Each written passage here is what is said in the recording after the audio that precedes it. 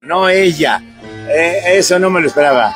De la Barbie no me extraña, es una persona que no, no tiene esta conciencia de lo que es, pero Bárbara, después de todo lo que Emilio ha hecho por ella, después de que conoce a su mamá, pero bueno, es el juego y que le vaya muy bien a ella.